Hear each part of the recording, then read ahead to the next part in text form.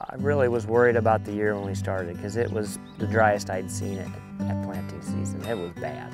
The planting season turned out a lot better than we thought. The hybrids did really well in the cool, wet conditions.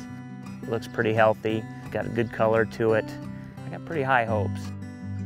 Technology's really kind of taken over and everything's really site specific in each field from fertilizing season through irrigation.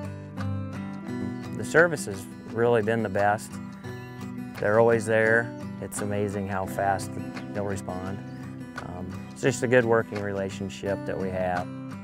My wife's a teacher. Paige, which is 11, and Carson is nine years old. It kind of works well. We're able to spend time with the family in the summers. I feel like we're kind of in a garden spot right now. Things look good here, so hopefully it kind of stays that way and everybody else gets their turn of good weather.